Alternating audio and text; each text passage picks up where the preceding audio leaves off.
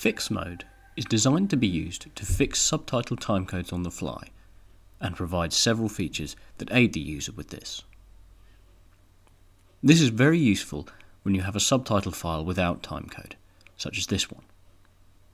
Fix mode allows you to fix a whole file in a single pass through the media.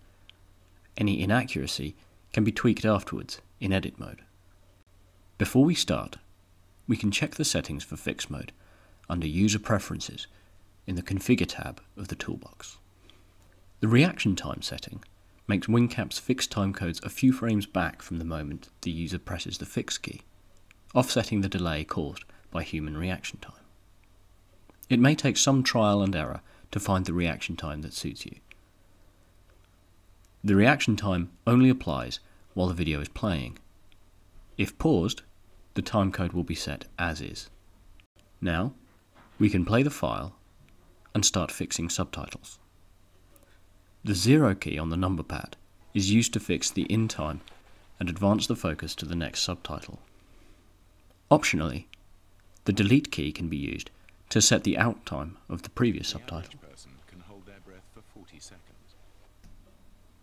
You can also use fix mode to quickly create a framework of blank subtitles with timecodes, to which you can go back later and add text.